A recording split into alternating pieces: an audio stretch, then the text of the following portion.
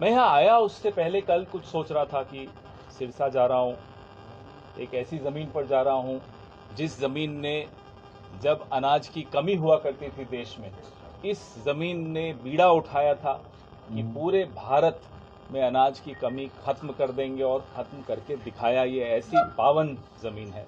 तो यहाँ एक तरह से मैं इसको तीर्थ यात्रा मानता हूँ मैं जहाँ आया हूँ। उसके बाद जब किसान आंदोलन हो रहा था तो मनसा सिरसा से लेकर सोनीपत, बागपत तक के किसानों ने ही बीड़ा उठाया था कि किसानी को बचाना है इस देश में। बड़े बड़े उद्योगपतियों के पास खेती एक तरह से गिरवी रखने का एक षड्यंत्र रचा जा रहा था।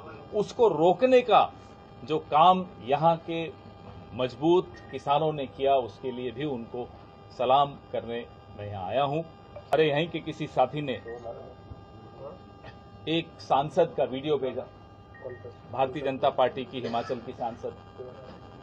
जो कहती हैं कि जिनको हम और आप काला कानून कहते हैं कि वो काला कानून वापस लाएँगे।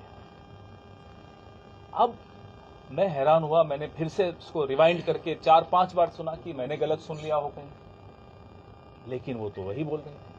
एक विधायक भारतीय जनता पार्टी का उसने फिर समर्थन कर दिया इसी बयान का। तो पार्टी के भीतर कोई चर्चा चल रही हो हो सकता है सांसद ने गलती से उस चर्चा को सार्वजनिक कर दिया। चर्चा तो चल रही होगी। अपने दिमाग में तो उनके नहीं आया होगा कि ये काले कानून वापस लाने हैं। चर्चा पार्टी के किस मंच पर, प्रधानमंत्री के कार्यालय में चली, कृषि मंत्रालय में चली, कहीं ना कहीं तो ये चर्चा चली है। लेकिन उसको सार्वजनिक हो जाना उसका। मुझे लगता है भगवान चाहता है कि इस तरह का षड्यंत्र कामयाब न हो। इसलिए भगवान ने उस सांसद को सद्बुद्धि दी कि उन्होंने ये चर्चा आप सबके सामने कर दी। ये भगवान करवाते बड़ी धार्मिक नगरी में हैं, हम यहाँ बैठे हैं। लेकिन 10 साल में जो सिरसा की इस पूरी बेल्ट की, नौजवानों की हालत हुई किसानों की हालत हुई, पहलवानों की हालत हुई, वो आप सबके सामने चिट्टा जो कभी यहाँ सुनाई नहीं देता था 2014 से पहले, आज चिट्टे का एक तरह से कैंसर की तरह वो फैल रहा है। नौजवान नशे की लत में आ रहे हैं, उनको धकेला जा रहा है नशे। ये षड्यंत्र क्या है? इस देश की आने वाली नस्लों को तबाह करने का षड्यंत्र कोई देश का दुश्मन ही रच सकता है, कोई देश को चाहने वाला तो ऐसा काम नहीं कर सकता। न इनको हमारी नस्लों की चिंता, न इनको हमारी फ़सलों की चिंता, इनको किस चीज़ की चिंता है, सिर्फ़ अपनी सत्ता की चिंता। मुझे याद है, एक वीडियो बड़ा वायरल हुआ था, यहीं का वीडियो था। एक बुज़ुर्ग, यहाँ साढ़े नौ साल के मुख्यमंत्री खट्टर साहब के पास रोते रोते गए। उनका बेटा नशे का की वजह से मौत हो गई थी उसकी। और किस तरह से उसको अपमानित किया था मुख्यमंत्री ने उस वक्त वो मैं वीडियो भूल नहीं पाता। वो हम सबके दिमाग में है, दर्द देता है वो वीडियो। भारतीय जनता पार्टी के कई नेता भी शामिल हैं इस तरह के नशे के व्यापार में। बताइए ये क्या देश के दुश्मन नहीं है तो क्या है? जो हमारी आने वाली पीढ़ी को तबाह कर रहे हैं वो दुश्मन ही है। पहलवानों के साथ क्या हुआ, वो आपने देखा। पूरा देश पहलवानों के साथ खड़ा था, लेकिन भारतीय जनता पार्टी उन पहलवानों को जिसने परेशान किया, प्रताड़ित किया, उसके साथ खड़ी थी, आज भी खड़ी। 77 करोड़ का बजट हरियाणा को खेलों के लिए दिया गया। 426 करोड़ का बजट गुजरात को दिया खेलों में। बताइए, गुजरात कितने मेडल लाया? और हरियाणा कितने मेडल लाया? जब देश में हरियाणा से मेडल आते हैं तो पूरा देश खुशी में झूम उठता है। ये पहली बार हुआ कि मेडल नहीं मिला तो भारतीय जनता पार्टी खुश हो गई। देखो, मेडल नहीं मिला। कि किस तरह का माहौल है? कि आप मेडल के हक की लड़ाई लड़ना चाहिए था, आपको विदेश में खड़े होकर। नहीं लड़ी। उल्टा सोशल मीडिया पर ताने दिए गए कि देखो, मेडल नहीं ला पाई। ये इन्होंने पहलवानों के साथ किया। कोविड चल रहा था, ऑक्सीजन के लिए हम और आप सब परेशान हो रहे थे। साढ़े सात सौ किसान दिल्ली की सीमा पर जान गवा बैठे। किसी ने सुध नहीं ली। ये तो शुक्र है कि चुनाव आते हैं। तो मोदी जी ने आकर कहा कि मैं एक काले कानून वापस लेता हूँ, लेकिन एक बात और कही थी कि शहीद का दर्जा देंगे उन किसानों के परिवारों को। उन किसानों को। क्या हुआ उस शहीद के दर्जे हम जब सरकार बनाएँगे हरियाणा में, न केवल उन परिवारों को रोज़गार के मौके मिलेंगे, उन किसानों को शहीद का दर्जा मिलेगा और एमएसपी को कानूनी दर्जा देने की लड़ाई हम केंद्र सरकार से, आप लोगों की मदद से लड़ेंगे। धोखा हुआ है। आपने टीवी पर आकर कहा किसानों को कहा, अपना आंदोलन वापस ले लीजिए, हम एमएसपी का कानून बनाएँगे। दो साल से ऊपर हो गया। कहाँ है वो कानून? और किसानों को आतंकवादी, अलगाववादी क्या क्या नाम दिए? पहलवानों का अपमान, जवानों का अपमान, किसानों का अपमान, फिर किस मुँह से आप वोट मांगने आते हो, हम ये जानना चाहते हैं।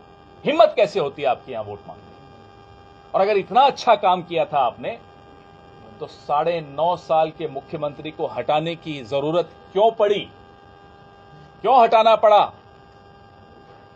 अब वो घूम रहे हैं पूरे देश में, मनोहर कहानियाँ सुना रहे हैं। उनकी मनोहर कहानियों को सुनने की इच्छा तो उनकी अपनी पार्टी की नहीं है। हरियाणा क्यों सुनेगा उनकी मनोहर कहानियाँ?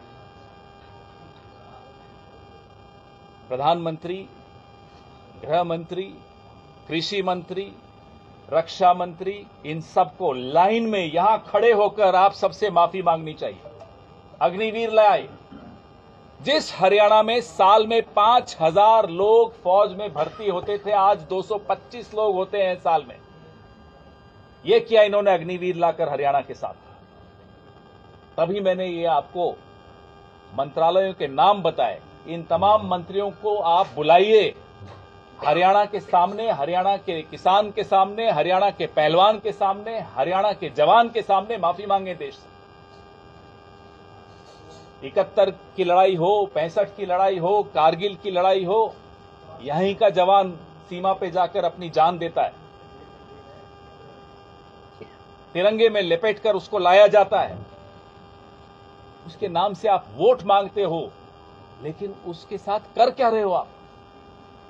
देश की सुरक्षा के साथ क्या कर रहे हो आप? न आपको नौजवान के भविष्य की चिंता, न सेना की, आगे की चिंता की सेना मज़बूत रहे, न हमारी सीमाओं की चिंता। आपको चिंता सिर्फ़ अपनी सत्ता की है। इसलिए जब भी यहाँ प्रधानमंत्री आए, पहली मांग उनसे आप करिएगा कि वोट तो आप अब पाँच सात साल बाद आइएगा मांगने, अभी माफ़ी मांग कर जाइए। हमारी सात गारंटियाँ, हमारे सब साथी लगातार आपसे साझा कर रहे हैं। ये मल्लिकार्जुन खड़गे जी और राहुल गांधी की ज़ुबान से निकले हुए शब्द पत्थर की लकीर होते हैं। अगर उन्होंने कहा है गारंटी तो गारंटी होती है। ये सातों गारंटियाँ लागू करके रहेंगे। लोग कहते हैं हमको, कई प्रेस कॉन्फ्रेंसेस में कि साहब, बजट गड़बड़ा जाएगा, पैसा कहाँ से लाओगे? 1966 जब से हरियाणा बना, से लेकर 2014 तक, हरियाणा के ऊपर कर्जा सत्तर हज़ार करोड़ का था। छियासठ से 2014 के बीच में सत्तर हज़ार करोड़ का कर्जा था। 2014 से 24 के बीच बीच में पौने चार लाख करोड़ का कर्जा हो गया। आप सोचिए 10 साल में पौने चार लाख करोड़। कोई छोटी बात नहीं 40 साल में सत्तर हज़ार करोड़ और 10 साल में पौने चार लाख करोड़। लेकिन कहीं रोज़गार होता हुआ नहीं दिख रहा, वो पैसा कहाँ गया? हम ये जानना चाहते सौ सौ गज के प्लॉटों की योजना जो कांग्रेस लाई थी, आपने वो खत्म कर दी। जो काम यहाँ कांग्रेस करके गई, उसके बाद आपने एक ईट और उन कामों पर नहीं लगाई, सिर्फ़ उनका श्रेय लिया, उसका क्रेडिट लिया। लंबी बात कर सकते हैं, इनके 10 साल के कुशासन पे बहुत कुछ कहा जा सकता है, बहुत कुछ कहा जा रहा है। इसलिए ध्यान बटा रहे हैं मीडिया का, विपक्ष का, वोटर का, सबका ध्यान बटा रहे हैं अनर्गल बातें करके, फालतू के विवाद पैदा करके, जहाँ विवाद नहीं है, वहाँ विवाद पैदा करके, ये ध्यान बटाने की साजिश रची जा रही ध्यान मत बटने दीजिएगा। न अपना, न हमारा, न इस हरियाणा के वोटर का। क्योंकि ध्यान से वोट देना ज़रूरी है। मुझे मालूम है गुस्सा बहुत है आप सबके मन में, और गुस्सा जायज़ है आप सबका। जब बटन दबेगा वो इतनी तेज़ी से दबने वाला है कि कहीं मशीन न टूट जाए इतना ज़्यादा गुस्सा है। बटन दो कारणों से दबा रहे हैं लोग। इनको हराने के लिए और कांग्रेस को जिताने के लिए। आपके सवाल? खेड़ा साहब आपका स्वागत एक एक एक करके एक एक करके एक एक करके एक जी, एक मिनट एक लेवल पूछो पवन जी कांग्रेस के अंदर कद्दावर नेता हैं कुमारी शैलजा सीएम की दावेदार हैं लेकिन चुनाव प्रचार से दूरी बनाए हुए क्यों? देखिए, यहाँ की सांसद हैं, हम सबकी बहुत वरिष्ठ नेता हैं। उन्होंने खुद इसका जवाब परसों भी दिया, कल भी दिया, मैं भी सुन रहा हूँ, आपने भी सुना। तो अब इसके बाद तो कोई बात इसमें रही नहीं जाती। तो बार बार उस मजमून को लाना जो मुद्दा अब है ही नहीं उसको क्यों लाना? पवन जी आपने कहा था मनोहर लाल जी के लिए कि जब सीएम से हटाया गया तो वो कांग्रेस के संपर्क में आप इंतज़ार तो कीजिए ये मनोहर कहानियाँ तो लंबी चलेंगी। अभी तो शुरुआत हुई है हमारे हरियाणा के ही एक कद्दावर नेता और खुलासा करेंगे। आप निश्चिंत रहिए बहुत खुलासे होने। सर किसानों के मुद्दे पर सर आप बड़ी बातें कर रहे हैं। स्वामीनाथन आयोग के अंदर दो आय आय वृद्धि की बात कर रहे थे पर आज तक बीजेपी आपने भी क्या किया स्वामीनाथन आयोग की 200 के लगभग 201 के लगभग अनुशंसाएँ थी रिकमेंडेशन थी। 175 कांग्रेस पार्टी ने लागू की 26 बची। 25 भारतीय जनता पार्टी ने लागू की, वो एक जो एमएसपी से संबंधित थी, वो लागू नहीं। जबकि 2014 में नरेंद्र मोदी जी ने वादा किया था, हरियाणा के किसानों से वादा किया था, सिरसा के किसानों से वादा किया था कि मैं लागू करूँगा। वो फॉर्मूला जो स्वामीनाथन जी का था। लेकिन जीतने के बाद सुप्रीम कोर्ट में हलफनामे में लिखा कि मैं नहीं करूँगा। कांग्रेस पार्टी ने 201 में से 175 सिफारिशें लागू की थी। 26 इनके लिए छोड़ी। वो भी ये पूरी लागू नहीं कर पाए। तो सवाल तो उनसे बनता है, हमें तो जो सजा मिलनी थी, मिली। हमने वो सजा ली। और अब हम आपको कह रहे हैं कि हम किसानों के साथ खड़े थे, खड़े हैं, खड़े रहेंगे। हम पर आरोप लगा। अरे आप अलगाववादियों के साथ खड़े हैं क्यों? किसान ने पगड़ी पहनी हुई तो अलगाववादी हो गया। ये सवाल हम पूछेंगे पूरे विश्व में पूछेंगे जाकर। हमें कोई डर नहीं है ये सवाल पूछने में। हमें फख्र है इन भाइयों पर और उस फख्र के साथ हम इनके साथ खड़े। हैं। साहब आपने शुरुआत की कंगना से। मैंने नाम भी नहीं लिया आप ले रहे हो। सर मैं ले रहा हूँ। कंगना का आपने बयान का आपने ज़िक्र किया। आपको लगता नहीं कि बार बार ये कोई साजिशन बार बार किसानों को अपमानित करने के लिए बार बार बुलाया जाता है? माफ़ी मांगी जाती है ये बिल्कुल ये ये अंदर की बात है। मुझे ये नहीं समझ में आ रहा कि अंदर की बात इशारे से वो बाहर लाती हैं या गलती से लाती हैं लेकिन बात अंदर यही चल रही है कि काले कानून आने चाहिए। किस तरह से ये जिनका आपने नाम लिया मैंने उनकी पिक्चरें भी नहीं देखी वैसे जिनका आपने नाम लिया वो किस तरह से बार बार किसानों का अपमान करती हैं ये बिना ऊपर की अनुमति के नहीं हो सकता उनकी इजाज़त के बगैर नहीं हो सकता। वही चाहते हैं कि ये बोला जाए नहीं तो किसी की हिम्मत नहीं है उस पार्टी में। पत्ता भी नहीं हिलता उनके इशारे के बगैर। और ये ऐसे ही बोल रही हैं? ऐसा हो सकता है क्या? सर एक पच्चीस लाख का जो सरकार फ्री इलाज का प्रोग्राम बनाया है उसमें क्या क्राइटेरिया है? कोई बीपीएल है या जनरल सबके लिए? जनरल सबके लिए है। ये राजस्थान में जो हमारी चिरंजीवी योजना थी उसी से हमने ये सीखा है। और पूरे देश में जहाँ जहाँ हम हमारी सरकारें हैं हम वहाँ ये ला रहे हैं यहाँ भी हम वादा कर रहे हैं।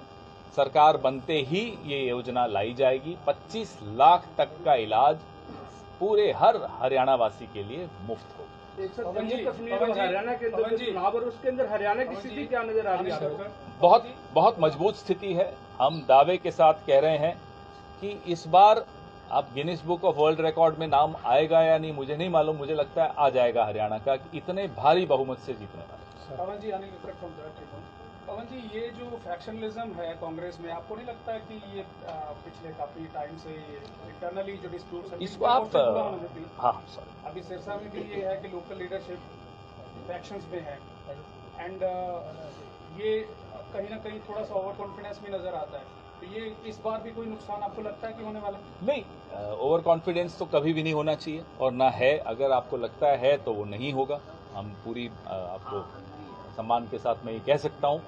रही बात फैक्शनलिज्म की, अनिल जी तो फैक्शनलिज्म शब्द गलत लगता है मुझे। ये फैक्शनलिज्म नहीं। हमारे यहाँ इतनी ईमानदारी है कि जो मन में है, मलाल मन में नहीं रखते, बोल के एक बार खत्म कर देते और फिर मिलकर मिलजुल कर चुनाव लड़ते हैं जीतते हैं सरकार बनाएँगे। सर सिरसा और रानिया की बात करें तो ऐसे कैंडिडेट को टिकट दी गई जो अभी कांग्रेस ज्वाइन की और पुराने लोगों को टिकट नहीं दी गई जो मेहनत कर रहे थे सवाल- कांग्रेस के। ये सवाल अगर मैं हफ़्ते भर पहले आता तो बिल्कुल पूछते आप मैं जवाब देता अब बात पुरानी। अब अब अब अब चुनाव एकदम नज़दीक आ गए अब हम सबके मन में भी ये बात नहीं रही अब हम सब मिलकर लड़ रहे हैं। लगातार दिख रही है। नहीं वो एक आध दिन थोड़ा समय लगता है लेकिन सब सेटल हो गया है। चुनाव को स्थिर होने में भी समय लगता है लेकिन अब अभी लेकिन ये आपको हम वादा करके जा रहे हैं। कोई फैक्शनलिज्म की वजह से कोई नुकसान नहीं होगा। सब मिलकर चुनाव लड़ेंगे और जीतेंगे। हाँ जी। खेड़ा साहब बीजेपी लगातार रोक लगा रही है जैसे आपने सात गारंटियों की बात करी। हिमाचल में आप पूरी नहीं कर पाए और भी जहाँ आप जीते हैं वहाँ पूरी नहीं नहीं हिमाचल में लागू कर दी ओपीएस लागू कर दी बीजेपी ने कहा पैसे कहाँ से लाओगे? हमें वो सब योजनाएँ करने के लिए पैसा है किसी भी स्तर पे अगर हमें खुद त्याग करना पड़े करेंगे लेकिन जो गारंटियाँ हैं वो पूरी होंगी। की जा रही हैं यहाँ भी की जाएँगी और होंगी। मैंने आपको बताया सत्तर हज़ार करोड़ बनाम पौने चार लाख करोड़। ये अंतर है इन लोगों को सरकार चलानी नहीं आती। हरियाणा के अंदर सीएम चेहरे को लेकर लड़ाई है। किसकी लड़ाई है? आपकी। शैलजा जी भी कह रही है कि सीएम बनेंगे हमारे यहाँ कोई लड़ाई नहीं हमारे यहाँ बहुत सिंपल प्रक्रिया है कि जो विधायक दल है वो आपस में तय करता है राय मशविरा करता है केंद्रीय नेतृत्व को अपनी राय बताता है फिर केंद्रीय नेतृत्व निर्णय लेता है। पवन जी 2005 में 2005 में ऐसा हुआ था कि भजनलाल जी विधायक नेता थे लेकिन भूपेंद्र हुड्डा को सीएम बना दिया गया था। तो क्या जो जो हमारे विधायक दल की बैठक में जो निर्णय लिया जाता है जो सिफारिश विधायक दल करता है उसके आधार पर ही निर्णय लिए जाते हैं। और आपकी तरफ़ से दो लाख तक की नौकरी गारंटी है। जी बिल्कुल है। हाँ जी। कांग्रेस के वरिष्ठ नेता की कांग्रेस कैंडिडेट के साथ नजरसी चल रही है तो मनाने का दौर चलेगा सबको फिर पंजाब से सीधा दौर चल रहा है। नहीं वो दौर जो आप कह रहे हो चल रहा है वो ज़्यादा मीडिया में चल रहा था। अ, हकीकत में इतना नहीं चल रहा। है कैंडिडेट को बुलाइए। सर हाँ। सर एक हकीकत में ऐसा नहीं था। अ, लेकिन जो मन में आता है कई बार कई लोगों को लगता है हमें भी लगता है कई बार कि मुझे ये चीज़ मिलनी चाहिए थी या मेरे आदमी को होता है ये। जायज़ सी बात है राजनीति में। लेकिन वो ऐसा नहीं है कि कोई दुश्मनी है आपस में सब मिलकर ही चुनाव लड़ रहे हैं। हाँ जी। एक वक्फ बोर्ड के मुद्दे पे बीजेपी आपको काफ़ी डिस्ट्रिक्ट कि इन्होंने माइनॉरिटी को अपना फ़ायदा लेने के लिए हमेशा इनको आगे किया है। तो बीजेपी की एक आदत है जहाँ विवाद नहीं है वहाँ भी विवाद पैदा करना। क्योंकि विवाद के बगैर बीजेपी है ही नहीं। जब तक विवाद है तब तक बीजेपी है। और विवाद क्यों पैदा करना चाहते हैं?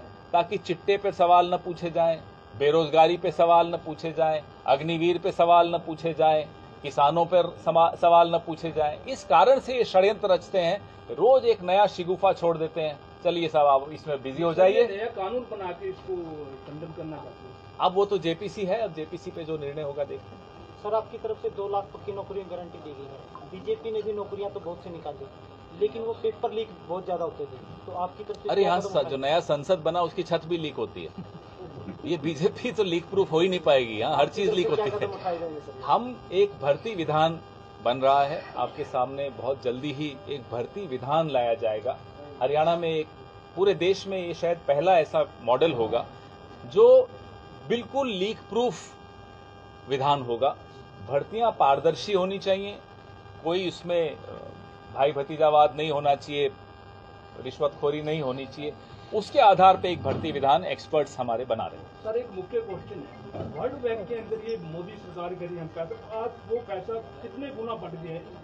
क्या मैं नहीं समझा वर्ल्ड बैंक के अंदर जो ब्लैक मनी थी स्विस बैंक में अच्छा। इस, इस मोदी सरकार से आगे काफ़ी गुना बढ़ गई ये हम लेके पूछो ना इनसे तो 2014 में तो सारा चुनाव ही उस पे लड़े थे। कि साहब हम काला धन लाएँगे काला धन लाएँगे। काला धन तो छोड़िए लाना। देश का धन भी बाहर चला गया अब तो। और अभी बीच में स्विस बैंक में किसी के खाते फ्रीज हुए। तब से मोदी जी की रात की नींद भी उड़ी हुई है सुनते हैं आजकल सो ही नहीं पा रहे एक आपका भी कांग्रेस का अब एक महिला को पूछने दो।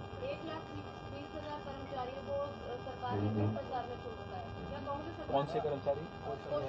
हाँ। कौशल रोज़गार। उनके लिए भी हमारी दो बैठकें हुई थी उनके कुछ प्रतिनिधि से भी प्रतिनिधियों से भी बैठक हुई थी। ये हम उनको आश्वस्त करते हैं कि उनके साथ न्याय होगा और कांग्रेस पार्टी की सरकार बनते ही उनके साथ न्याय देने की प्रक्रिया शुरू होगी। किसी और का सवाल? है कोई सवाल? एक महिला से पूछने दिया आप लोगों ने किसी महिला को नहीं पूछा। मेरा एक सवाल है उसके बाद आप ले लें। पवन जी, अभी आज एक न्यूज़ है कि आपका जो से कैंडिडेट है मोहम्मद इलियास उनकी कल रैली थी, उसमें भी थे। और वहाँ का एक वीडियो वायरल हो रखा है जिसमें वो पाँच पाँच सौ के नोट बांट रहे आरोप ये लग रहा है कि वो रैली में लोगों को बुलाने के लिए लगा है। न तो हमारे पास इतने पैसे होते हैं, न हमारे पास ऐसी मानसिकता है देख लीजिएगा इंक्वायरी जब होगी वो कोई बीजेपी के ही निकलेंगे जो ये कर रहे होंगे। सर सिरसा विधानसभा से ना बीजेपी ने पहले ही? हाँ आइए ना। सॉरी क्या बोल रहे थे? सिरसा विधानसभा के चुनाव में बीजेपी कैंडिडेट ने पहले ही घुटने टेक दिए। नॉमिनेशन वापस ले लिया हाँ ये भी ये तो आप सब समझते हैं क्या हो रहा है। क्या कौन सी साठ गांठ कहाँ है वो सब दिख रही है आपको आइए हैं? हाँ। जी। धन्यवाद। चाय मिले। सभी साथियों के लिए चाय पानी की व्यवस्था है, सभी नाश्ता करके जाएँगे।